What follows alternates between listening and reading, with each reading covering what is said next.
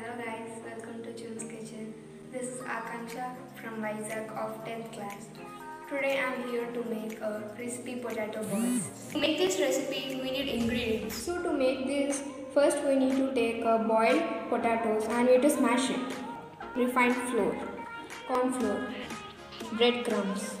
Then take onions, salt, coriander seeds, green chili and red chili if you need more spice, you can take green chili, chaat masala, chili powder, jeera powder, black pepper powder, lemon, then ginger paste, oil. Let's start. Take smashed potato. All the ingredients as shown.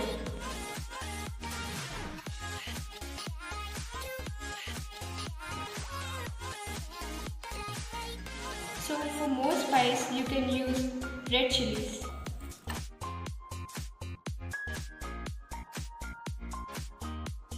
Salt as per requirement.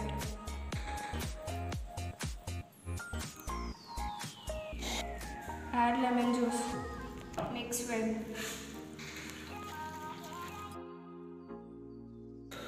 Now add breadcrumbs.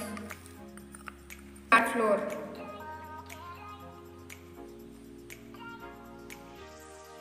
Next make the balls.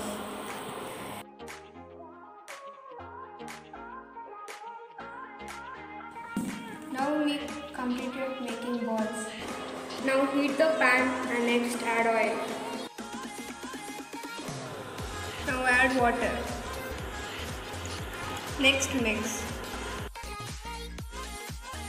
Next add these balls into corn flour. In this corn flour you need to mix water and mix these breadcrumbs in it. Now it is ready. Add these balls into the oil.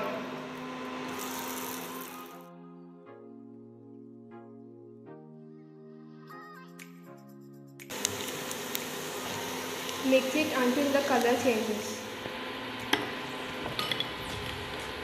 For better flavor you can add green chili sauce or tomato sauce. Now potato balls are ready.